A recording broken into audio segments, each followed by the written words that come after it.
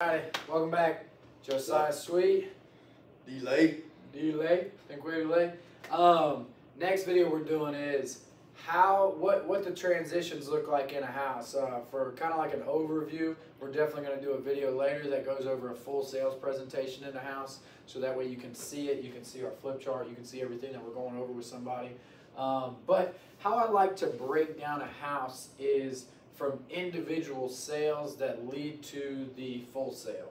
And so what I mean by that, we talked about in a separate video about door knocking and how to get in. That's your first sale. Breaking the ice. That's right. So you're you're getting in the house. I made my first sale. Check. I've gotten in the house. I'm sitting down with them on the couch. I'm sitting in the dining room.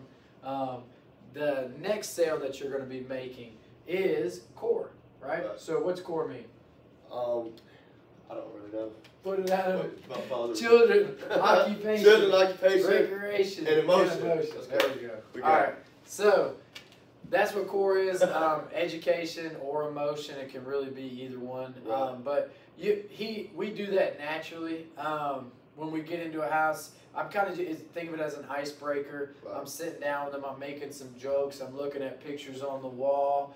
Oh man, Miss Betty, is that your granddaughter right there? That's awesome. So she plays soccer here. I bet you go to all those games, don't you? Now she's she's actually having a conversation with me and looking at me as something other than just a salesperson trying to get something out of me. And it. it, sounds really cliche, but it's like once you do it in every house, it, it starts to. It just happens. It just happens. Like I'm My like, favorite, my go-to is, how long you been living in this area? exactly how you. how every long- house. Every house. So, how long you been living in this area? Awesome. So, oh, cool. So you've been in this area for a while. What did you do for work?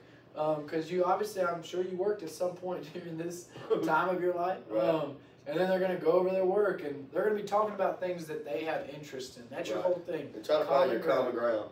Common ground. So we're trying to talk about their their children. Um, obviously, we just talked about occupation, how long they've lived there.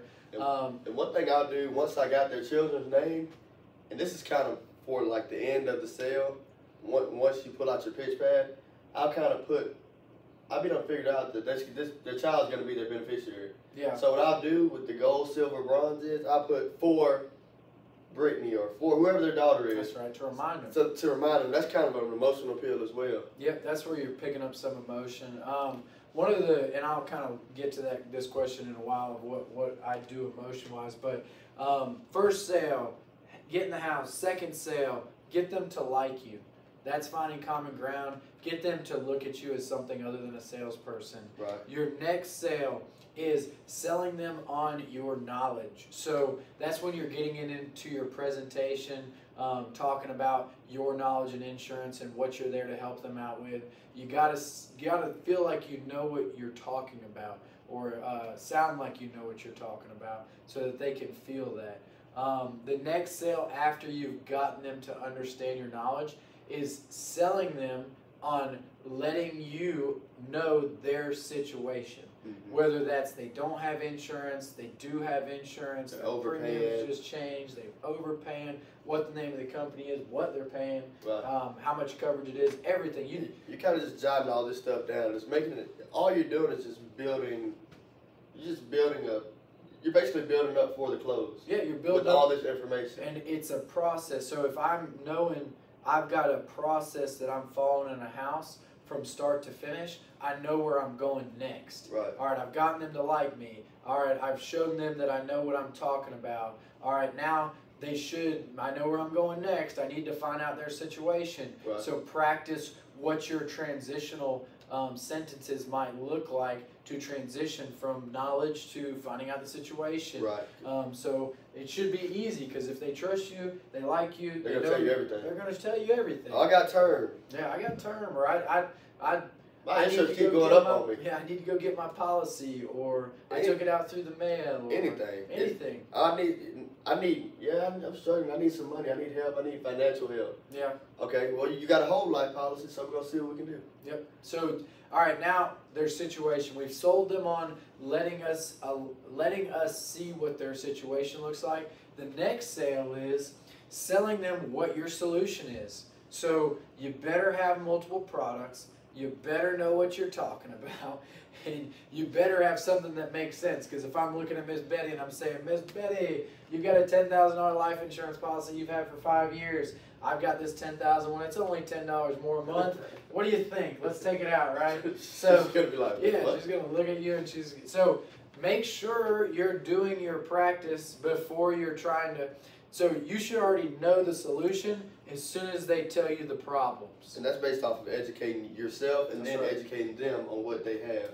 And then it's really, it, it gets really simple. They tell you they got term, you've already explained term to them before that. And the easiest thing in the world to do is to call the insurance company that they have their insurance with and get their insurance company to go over exactly what they have. And then that's where your opportunity comes in, where you have the opportunity to not only be the educated one, but to ask the hard questions that are gonna make the client realize what's really happening in that policy down the road. If it's term, if it's UL, or if it's just an accidental policy, or if it's a whole life with a two-year wait, they need to know what's going on, Right. and you're there to ask the pain point pain point questions to be able to find the solution. But like I said earlier, you should already know the solution. You're presenting your solution now. So that's your next sale. If you're not confident, you don't have a good solution, chances are you're not making it past that part of the sale. That's probably your toughest part of the sale um, because that's really where the close comes in Right. is you're selling them on your fix to their situation. And so you've got to get them on board with seeing and understanding how you're going to help them because if they don't see it, they don't understand it, they're not going to do it. And so after, all right, let's move on. Now let's say they have been sold on your solution. The next sale that you're going to make is getting their personal information like social security, bank account, date of birth, uh, beneficiaries information because you got to fill out the application and you've got to do the underwriting portion of the policy, whether you're doing phone health interviews or e-apps. Right. Um, and you're also trying to find out, and you, you should have already kind of find out, but their health and medicines and stuff like that, because you got to make sure they're going to qualify for what you're going to be able to help them out with. Right. And so that's really the next sale. Um, going from there, it's the the gentle goodbye. You've already written the policy. Um, make a clean break. Sometimes new agents and, and, and even seasoned agents, they'll get stuck in a house for 45 minutes after they write an app. Don't do that. no. Oh my goodness. Like if they're gonna talk to you because they, they don't have anybody to talk to, and now they think like you guys are best friends, right? Yeah. But so they're gonna try to talk to you. You just gotta find a way, like you said, just a easy transition to get get yourself out of the house. Well, Miss Jones, I can sit here and talk to you all day.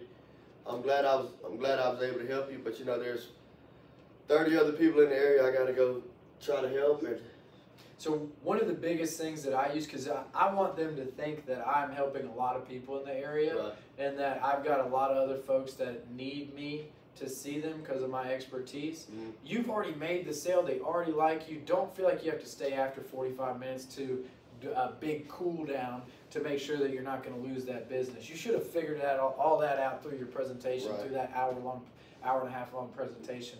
And so when I'm getting out of the house, one of the things I use is, oh, look at that, Miss Smith. It's it's about 3:45. I've got a four o'clock coming up um, that I really don't want to be late to. I really enjoyed our time. I hope you have a great rest of your day. You have my business card. And- if you need to contact me, you just give me a call and I'm here for you. and that's my personal number. It's not the office phone, so That's I'll right. always have it on me.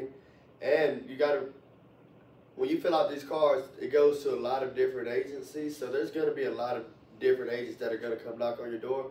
But just know I got 30 different companies who I'm affiliated with, and I put you in the best product for your age and your health. So there's nothing that another agent's gonna be able to do for you. So if anybody else comes to your door, make sure that you tell them that you're satisfied with what you have. That's right. And if they keep pressuring you, give them my business card and tell them to call me, and I'll explain to them that you're in the best product for you. That's right. And so that and, and this is part of the close what he just did, or not close, but part of the uh, cool down, get out. Um, that's what he's saying to lead up to getting out of the house. One of the, the phrases that I always use with clients is I say, Miss Smith, do me a favor. I'm not naive. I know you're only 65 years old and you've got a lot of life left to live. Um, there's going to be somebody else that comes and talks to you about insurance at your life in your life. I just want you to do me a favor. If they do come and talk to you, I'm not gonna tell you you can't talk to anybody. That's totally up to you. I hope you feel like I helped you. Um, but if they're not willing to put me on speakerphone in the middle of that table and listen to what they're trying to sell you on, how they're going to better your situation, then you don't need to trust that person um, whatsoever because I, I feel like I, and know I did, really help you into a great situation. And I want to make sure that they're not going to put you into something or misrepresent your health on a policy that might put you in a worse situation. Right. Yeah. So that's very, I, I get a lot of um, retention stays good because of that. So, Wow. I like that. but all right, guys, we uh, that's all we got on that. You guys stay blessed. Have a good